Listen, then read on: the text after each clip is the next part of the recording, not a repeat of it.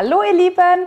Heute gibt es einen sehr, sehr stark angefragten Kuchen. Wir machen den Red Velvet Cake. Das ist der rote Sandkuchen aus Amerika.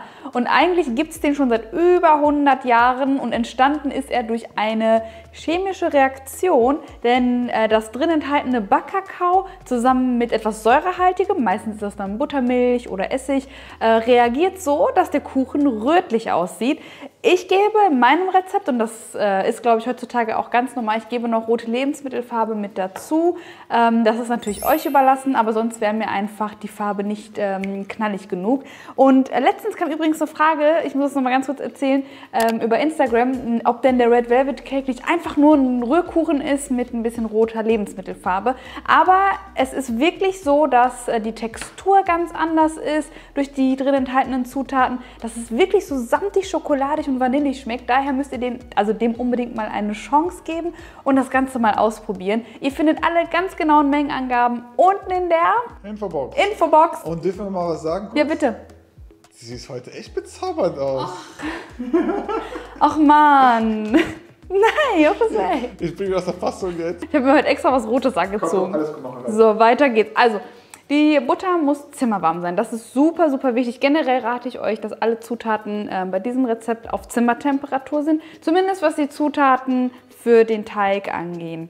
So, und da gebe ich jetzt direkt noch Butter mit dazu und eine Prise Salz und schlag das ungefähr drei Minuten lang. Ihr dürft aber auch gerne euer Handrührgerät benutzen, wenn ihr jetzt keine Küchenmaschine da habt.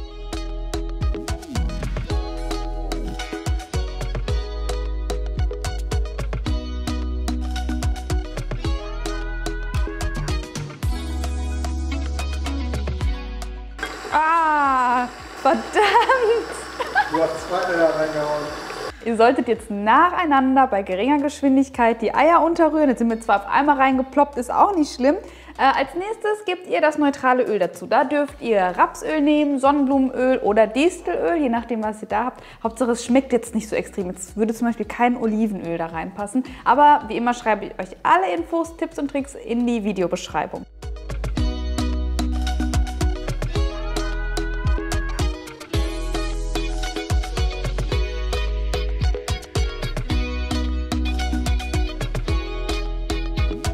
So, an trockenen Zutaten habe so, an trockenen Zutaten habe ich jetzt Mehl Typ 405, ganz normales Weizenmehl, ähm, Backkakao, das ist stark entölter Kakao, also kein Trinkkakao benutzen und Natron. Statt Backpulver benutzen wir in diesem Rezept Natron und wichtig ist, dass wir vorher alles gründlich miteinander sieben.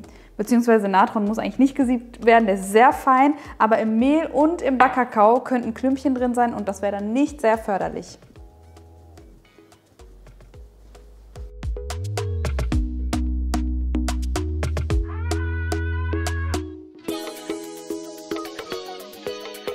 So, jetzt gebe ich vorab noch ganz, ganz wichtig Apfelessig und Vanilleextrakt mit dazu.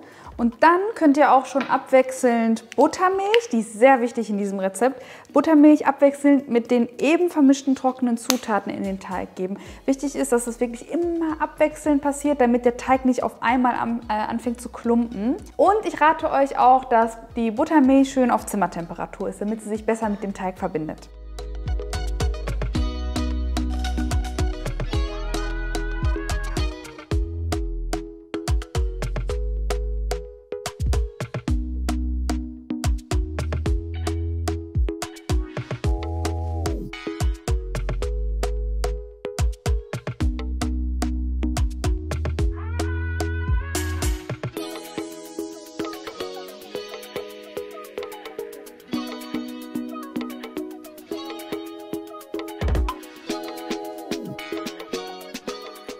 Dem Teig habe ich jetzt noch rote Lebensmittel-Gelfarbe zugefügt und guckt, das sieht schon richtig gut aus und nach dem Backen wird es nochmal richtig, richtig rot. So, und bevor ich jetzt meinen Teig in meine Tortenringe einfülle, zeige ich euch kurz, wie ihr mit Tortenringen ohne Boden backen könnt. Da kommt nämlich auch ganz oft die Nachfrage, vor allem weil dieser Teig ein bisschen flüssiger ist. Also ein bisschen flüssiger, ihr dürft ihn euch nicht komplett flüssig vorstellen. Ich habe jetzt zwei Tortenringe und das ist wirklich typischerweise so, dass man Red Velvet Cakes auch jeden Boden einzeln backt. Das heißt, ich möchte jetzt zwei Böden haben und nehme mir deshalb zwei Tortenringe. Wenn ihr mögt, verwendet auch gerne eine Springform. Beachtet bitte nur bei meinem Rezept die Größe. Ich habe jetzt hier einen Durchmesser von 20 cm eingestellt und jetzt nehme ich mir einen ähm, Backpapierzuschnitt und ähm, gehe da quasi immer wieder mit meinem Backpapier an den Rand meines Tortenrings in Dreiecksbewegungen. Ich zeige euch das am besten mal. Und dabei dreht ihr quasi den Tortenring. Das ist für mich immer die einfachste Methode. So. So, und wenn ihr dann angekommen seid, knickt ihr das einfach rein und fertig. Und jetzt könnt ihr darin ganz normal backen. Und wenn euch was ausläuft, dann wirklich nur minimal. Das nimmt man dann aber auch in Kauf.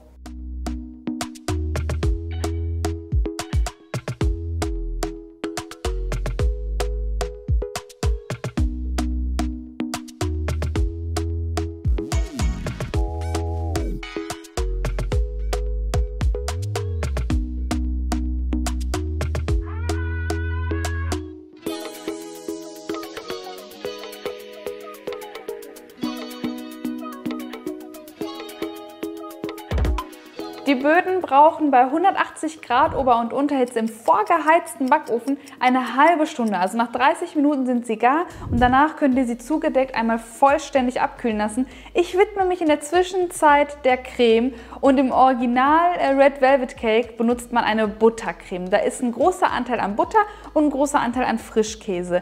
Jetzt habe ich mir überlegt, weil immer wenn ich Buttercreme mag, also ich kriege sie auch wirklich lecker hin. Ihr könnt euch gerne meine Rosentorte zum Beispiel ansehen. Ich mag mag Buttercreme, wenn man sie richtig macht, aber viele von euch haben geschrieben, Kiki, ich mag keine Buttercreme und deshalb habe ich mir bei diesem Rezept überlegt, ähm, ich mache eine Creme aus leckeren Zutaten wie Frischkäse, Mascarpone, Sahne, Vanille und ein bisschen Puderzucker. Ich denke, das ist eine schöne Alternative und ich möchte ja auch, dass es schmeckt. Finde ich auch. Genau. Ich starte jetzt direkt äh, mit der Küchenmaschine und ich mache es mir immer ganz, ganz einfach. Ich glaube, das kennt ihr auch schon von mir. Ich nehme jetzt alle Zutaten, die ganz kalt aus dem Kühlschrank kommen, ähm, in die Schüssel der Küchenmaschine mit Schneebesenaufsatz. Auch die beiden sind ebenfalls kalt, also ihr dürft sie nicht warm abspülen oder so. Und da gebe ich jetzt alle Zutaten hinein und dann fange ich an, das langsam zu verrühren und dann auf voller Geschwindigkeit ähm, so zu schlagen, dass die Sahne in der Creme steif wird und somit auch die ganze Creme fertig wird. Das dauert vielleicht maximal eine Minute und dann ist es auch schon fertig.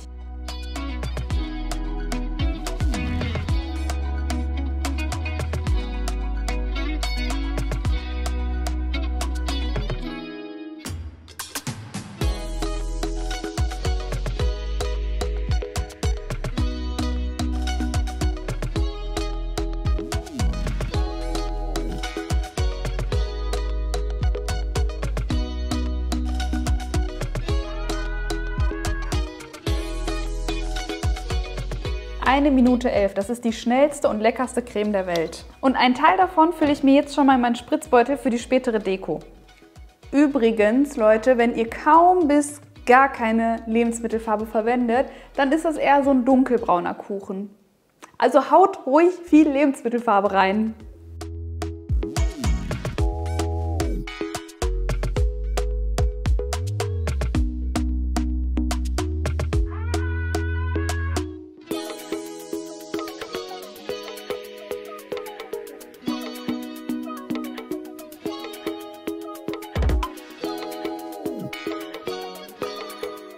So, jetzt habe ich mir einen kleinen Teil für die Deko später aufgehoben und in meinen Spritzbeutel mit Sterntülle vorne dran schon mal reingegeben. Und was ich auch schon gemacht habe, ist meine Böden vom Tortenring zu lösen und sie gerade abzuschneiden. Ich hatte schon ein bisschen Angst, dass ich keinen Verschnitt habe, weil sie fast perfekt gerade gebacken sind. Aber wir brauchen ein bisschen Verschnitt, für die Dekoration später, kommt gleich zum Einsatz. Dürft auch schon ein bisschen naschen, aber nicht alles, damit wir noch ein bisschen haben. Und jetzt habe ich mir den ersten Boden schon mal auf eine hübsche Servierplatte gelegt und ähm, das Einzige, was wir jetzt noch machen müssen, ist die restliche Creme zu nehmen und die Torte zu füllen und anschließend auch von außen zu verstreichen. Ich persönlich mache es so, dass ich gleich außen erstmal nur eine dünne Schicht verstreiche zur Krümelbindung und dann lasse ich es ganz kurz einmal auskühlen im Kühlschrank für 10, 15 Minuten und dann kommt noch eine zweite Schicht dazu, damit es richtig schön glatt wird. Aber Leute, ihr müsst euch auch nicht so, so, so viel Mühe geben, denn später kommen eh noch ähm, die Kuchenkrümel außen herum. Das wird am Ende eine richtig, richtig hübsche Torte.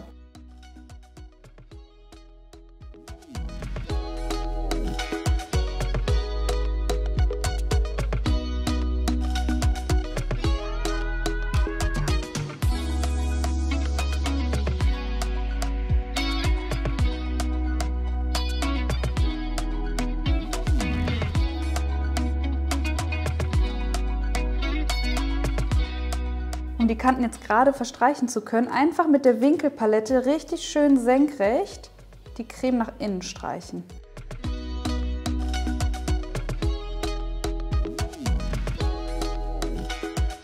So, jetzt werden wir die Torte noch dekorieren und dann ist sie auch schon fertig. Und ich bin ein bisschen aufgeregt. Mir schlägt das Herz gerade ein bisschen höher. Ich war auch noch nie so aufgeregt, eine Torte in Stücke einzuteilen. Aber ihr folgt mir ja nicht alle auf Instagram. Ihr könnt das jetzt gerne nachholen. Aber für alle, die es halt noch nicht mitbekommen haben, eine ähm, Weltneuheit gibt es von mir. Und zwar haben wir hieran in den letzten Monaten gearbeitet.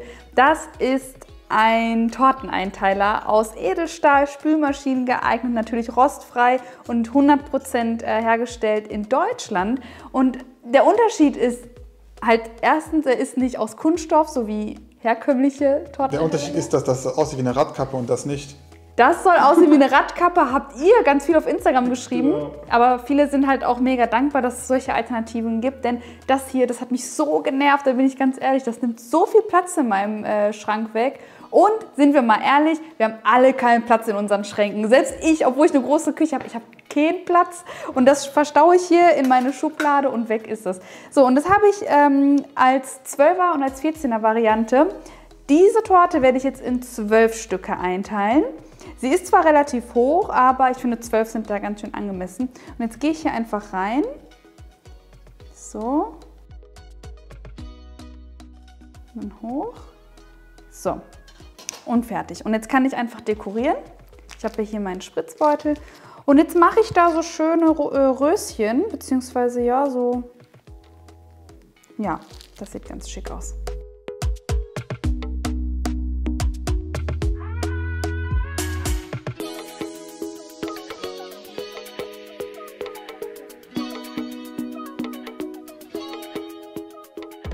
Genau, hier könnt ihr dann die Stücke entlang schneiden. Und jetzt nehmt ihr euch die Kuchenreste, zerbröselt die mit den Fingern und ich gebe sie jetzt hier erstmal an den Rand der Torte.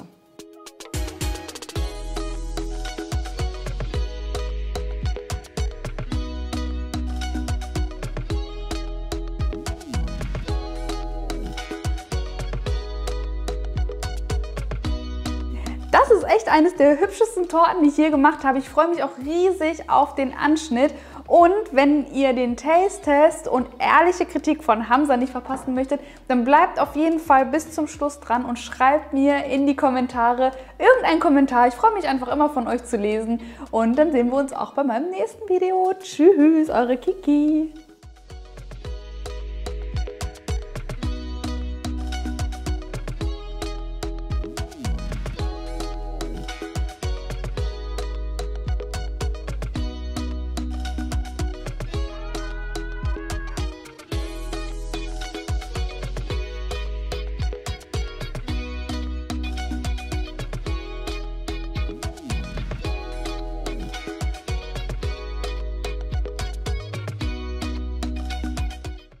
Leute, von heute. Boah, das war so uncool. Also, es geht los. Taste Test Red Velvet Cake.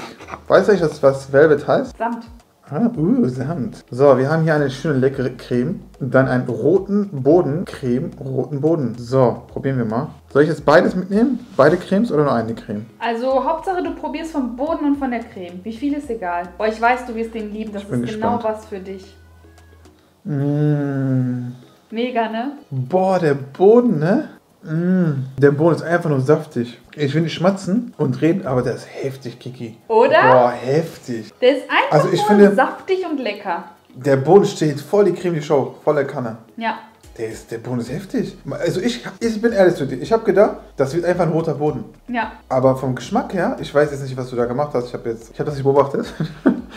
aber vom Geschmack her, heftig. Der ist so weich, so geil, ehrlich. Krass, ne? Du könntest den Boden auch einfach alleine essen, Mhm. oder? Mega. Ey, Kiki, du siehst, ne? Ich esse die ganze Zeit. Leute, kein Spaß. Ist einfach von der anderen Liga. Das ist ein Champions League Kuchen. Krass. Ehrlich. Guck mal, ich sag dir ganz ehrlich was. Ich habe nur einige Lieblingskuchen, aber der gehört jetzt dazu. Krass. Heftig. Der ist heftig. Ich schwör's euch, Leute. Ich schwöre, ich übertreibe nicht. Leg, geh, hol mir Feuer. Hier, Feuer. Hier. Nein, Egal, ich wollte schon zeigen. nicht, dass das Video jetzt gelb wird wegen Ist dir. egal, ich wollte schon zeigen, ey, das schmeckt heftig. Ich wollte meine Hand ins Feuer legen, was reicht. Krass, ja, der, also der Kuchen, also es macht aber auch hier die ganzen, hier, da ist Buttermilch drin in Also, Verbindung mit Natron. Wer das probiert und sagt, haben sie, das schmeckt nicht, der lügt. Ohne Witz. Das schmeckt heftig, Kiki. Ja. Du weißt, ich raste nicht oft aus, ne? Bei Ja, Kuchen oder sonst was. das aber stimmt. das ist. Also das letzte Mal, als ich so ausgerastet bin, war der San Sebastian Cheesecake. Das heißt schon was. Ja, krass. Okay. Danke Ich will nicht mehr lachen, weil ich merke, jetzt, wenn ich lache, kriege ich Segelohren. Also, Leute, unbedingt nachmachen, weil. Also meine Nase ist zwar groß, aber Pinocchio, bei Pinocchio wird die noch größer, lügt. Aber bei mir, ich lüge nicht. Okay. Na, Leute. Dankeschön für deine Also, Bewertung. nachmachen. Hammer. Okay, Hammer. danke. Das übersteigt möglicherweise meine Fähigkeiten.